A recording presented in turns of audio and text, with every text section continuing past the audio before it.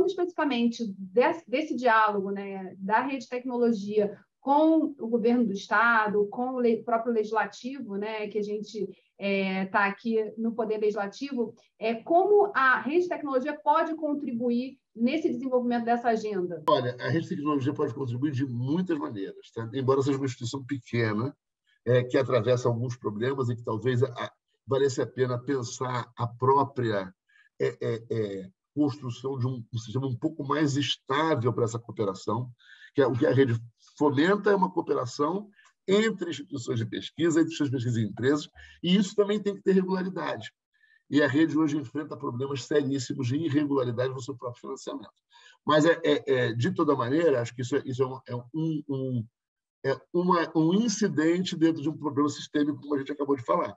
Então, eu, eu acho que a rede tem total condição de ajudar é, é, a comunidade legislativa, a Assembleia, os assessores, quem quiser compreender melhor esse tema, tanto do ponto de vista das dificuldades, quanto dos desafios, quanto das possibilidades.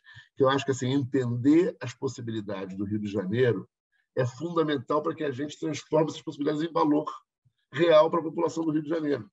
Assim, a educação, por exemplo. Vou dar um exemplo que eu, eu ando muito é, depois que eu virei para o reitor de extensão da Unirio e comecei a pensar em educação profissional, educação continuada, né?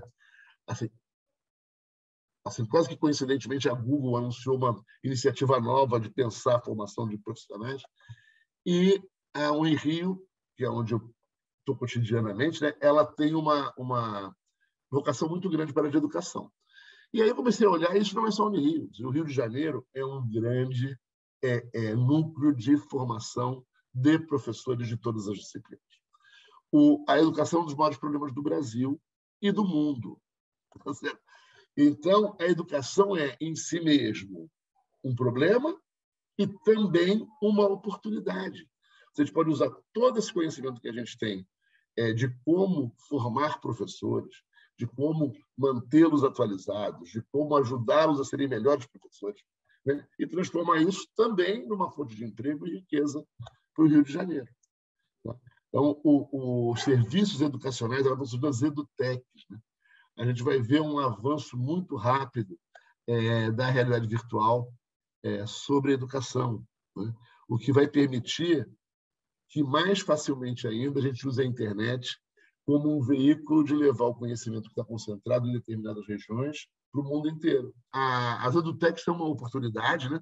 e, e essa oportunidade tem grande é, é, relação com o avanço das tecnologias é, de blockchain, realidade virtual. É, então, a gente tem a possibilidade de organizar é uma ação importante para requalificação, é, é, primeiro do próprio corpo de professores e depois para introduzir uma série de produtos que podem ser produtos de prateleira para uso em sala de aula, para uso no ensino à distância. Né? Ou seja, você, é, com, com, com, a realidade virtual, vai permitir que, mais do que simplesmente a internet, a gente consiga levar pela internet é, conteúdos que antigamente tinham que ser feitos no laboratório. Né? Hoje você pode desmontar uma peça com óculos de realidade virtual. Ou seja, um aluno que, no laboratório de, de, de, de engenharia mecânica, assistia, talvez de longe, para um monte de gente, ou um aluno de anatomia, que assistia uma dissecção de longe, porque são muitos, ele agora pode fazer isso ali sozinho, ele de frente para aquela pessoa, ou ele de frente para aquele é, é, objeto que está sendo montado e desmontado. Então, a, a, as possibilidades de você levar um custo muito menor, é, é, é educação e conhecimento a um, a um, público muito mais vasto, é, está colocada. Né? O, o, só a de comparação, isso que eu estava falando naquela hora, a, a, a, a gente organizou essa rede com professores é, de é, diferentes universidades, né? o FRJ, a Unirio é, e Seja Rio inicialmente, e a gente pegou a área de matemática inicialmente, para fazer um esforço de tentar entender quais são as dificuldades dos professores da rede é, municipal e estadual e, é, e como é que a gente poderia ajudar. Isso resultou na produção de oito é, módulos de educação e a gente aplicou isso, ofereceu para cada módulo de maneira piloto, sem é, é, vagas. Então, foram 800 vagas que foram disponibilizadas é, e, impressionantemente, a demanda foi muito grande. A gente teve que ainda aqui, que, de alguma maneira, fazer uma filtragem. Era um piloto, então a gente prezou pela diversidade. Né? Explicamos, evidentemente, para quem não pôde ser atendido no piloto. O, agora, o que, o que várias coisas chamaram atenção nessa experiência. Uma das mais importantes é o baixo custo. Assim, quando comparado com o custo, às vezes, você imprimir livros e distribuir, você preparar o material. Assim, a Unirio tem um livro é, aberto de matemática na internet. Então, este livro vai sendo atualizado e ele está o tempo todo disponível. Entendeu? Não vai voltar a imprimir o livro todos os anos. Entendeu? Ele vai crescendo que nem a Wikipedia.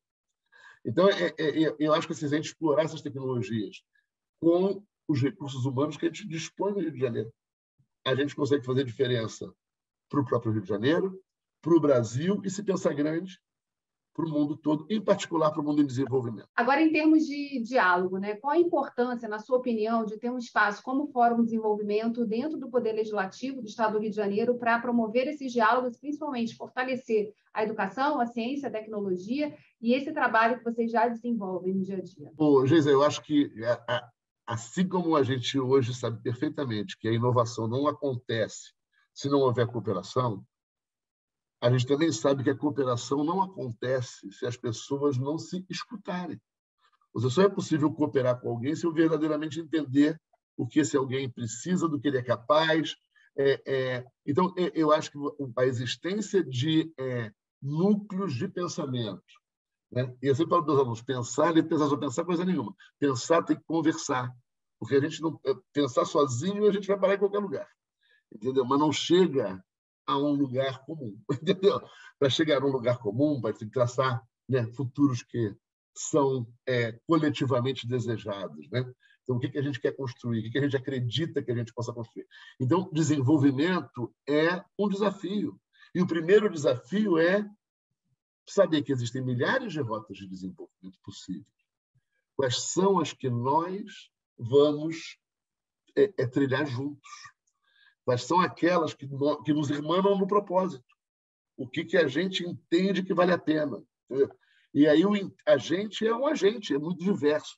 Então é fundamental haver instituições como o Foro, como a própria rede, que congregam, que escutam, que, que propiciam esse aprendizado coletivo e o, o selar de alianças. Né? Ou seja, a gente combina o que, que a gente gostaria de ter no futuro, a gente combina a contribuição que cada um de nós é, vai prestar para esse futuro. Então, assim, eu, eu, eu, vejo na função legislativa uma das funções mais elevadas da, da, da, da, da, da vida social, de qualquer lugar do mundo. Porque você, assim, a sociedade delegou a um conjunto pequeno de pessoas estabelecer qual é a regra do jogo, né? que jogo que nós vamos jogar e que prioridades que nós vamos é, é, é, atacar, né? Por que caminho vamos, né? Então, quando você pega e destina o orçamento para determinadas atividades, você está, é, é, é, em nome de todo mundo, né, isso, direcionando a ação coletiva. Né? Nós vamos por ali. Então, eu acho que esse trabalho ele, ele é fundamental e ele é enriquecido imensamente se houver um canal fluido de diálogo para além dos canais que, evidentemente, cada deputado já tem.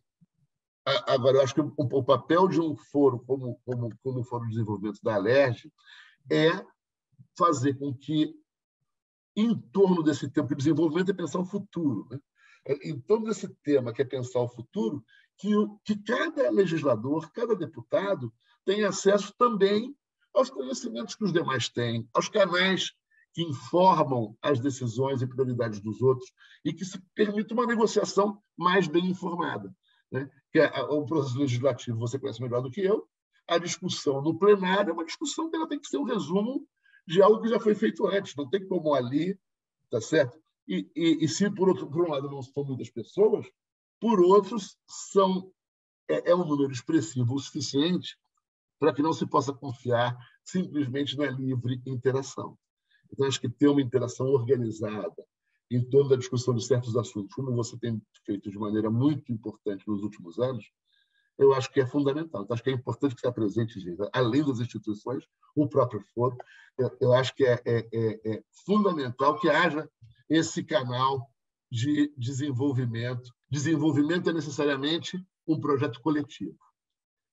Assim, a gente pode pensar assim, tipo, o desenvolvimento é o produto final de todos os esforços de inovação da sociedade. Né? Tudo aquilo que a gente caminha, que a gente introduz de novo, no resumo, na, na, resumo, né? no seu conjunto, na sua totalidade, a gente chama de desenvolvimento. Né? Eu era de um jeito, agora sou de outro, vou me desenvolver daqui para cá. O, o, e se, se cada esforço de inovação já é em si um esforço coletivo, o desenvolvimento como um todo e a feitura de um plano de desenvolvimento, porque você pode há países que já são muito avançados e que por vezes não priorizam a discussão sobre desenvolvimento, porque há outras discussões mais relevantes para eles. A, a, a, realidade atual, do ponto de vista tecnológico, é, é, empresarial, ela já é bem, bem posta. Mas aí é um problema localizado de criminalidade, é um problema localizado. É, é, isso é mais prioritário. Para países como o nosso, o desenvolvimento é uma.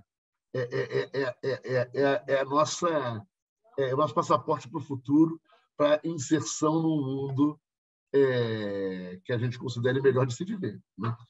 Então, é, o principal projeto, e eu acho que, assim, eu vejo você conseguir colimar as discussões em um lugar, em torno de uma agenda. Eu acho que é muito importante é traçar a agenda, inclusive ouvindo os próprios deputados, porque eles são deputados novos, provavelmente trazendo informação que a gente ainda não é, conhece. Se a gente tiver que, e na verdade, é, governar é priorizar, o que, que, tem que ser a prioridade do Estado, na sua opinião, nessa visão de futuro? Aí, nessa visão de desenvolvimento, eu acho o seguinte: se a gente for pensar desenvolvimento como aposta empresarial, aposta empreendedora, assim, como é que a gente faz para o Rio de Janeiro ficar mais rico, para a população ter mais emprego, para para ficar mais feliz, porque tem mais acesso às coisas.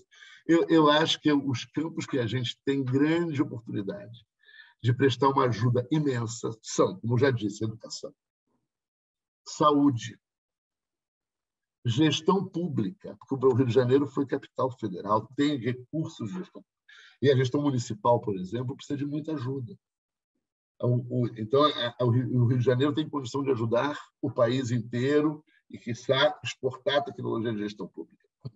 Então, acho que educação, saúde, gestão pública e é, é o que eu acho que é a vocação de alegria do Rio de Janeiro, de cultura, de arte, o turismo. Então, acho que tudo que a gente pode reunir no tema indústrias criativas. É, é, é, é eu diria que se a gente fosse pensar quatro apostas, as minhas quatro apostas seriam essas. Ou seja, a gente, entendendo que eu não estou dizendo que a educação é uma prioridade, isso é óbvio. Tá eu estou dizendo que a educação é uma oportunidade para a gente fazer um polo de é, é, inserção do Brasil numa nova era da educação, alicerçada na internet, na realidade virtual, nas novas tecnologias. E isso é, é, é, é uma trilha que a gente não depende de nada que a gente não tenha. Acho que isso é, é, é, quando a gente pensa semicondutores, por exemplo, que a pessoa fala, não, é uma pena que nós não temos uma. Então, para a gente ter uma indústria moderna, competitiva de semicondutores, é uma trilha tão longa que eu não sei se a gente. É, é, agora, para fazer um, um uso revolucionário das tecnologias que estão surgindo, para educar populações com os problemas graves que nós temos, e que muitas partes do mundo têm. Eu ontem conheci um, um projeto maravilhoso na favela da Maré, chamado Projeto Herê, não sei se você conhece. Maravilhoso. E assim, o, o, o, aí vai muito, tudo, tudo me surpreendeu.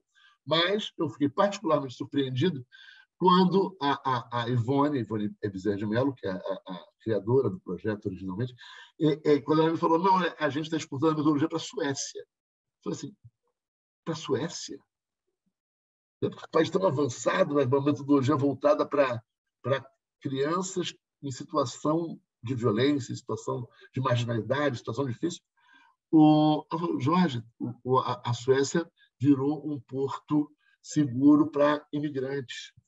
E esses imigrantes chegam depois de uma experiência de sofrimento gigantesca. E crianças chegam sozinhas, sem pai, sem mãe, sem ninguém, vindo a pé. Então, aquele lugar é frio. Entendeu?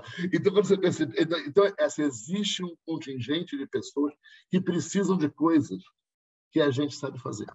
E, é, e, e, e isso é uma oportunidade. Tá? Então, eu acho que a gente tem que olhar para essas potencialidades que a gente tem nesses campos que se valem muito a tecnologia. Então, a rede de tecnologia tem condição de ajudar, você tem condição de encontrar quem possa é, é, fazer quem se interesse, quem queira trabalhar junto, qualquer que seja o tema. E, e, e para fechar, gente, acho que vale a pena dizer o seguinte: qualquer tema, seja desses, que como eu te falei, os deputados vão chegar com a cabeça deles, né? vão falar coisas que a gente não ouviu. Então, é, é, esses temas ou quaisquer outros, a gente tem total possibilidade e interesse de ajudar a conhecer mais profundamente. Então, assim, vamos realizar um estudo sobre como se pode tirar máximo partido do metaverso para a educação. Que tipo de impacto legislativo que isso possa ter? A gente pode organizar um grupo para fazer, entendeu? A gente pode fazer isso com, com, usando toda a rede de instituições que estão ao nosso redor. Tá? A, a vocação da rede é fazer rede.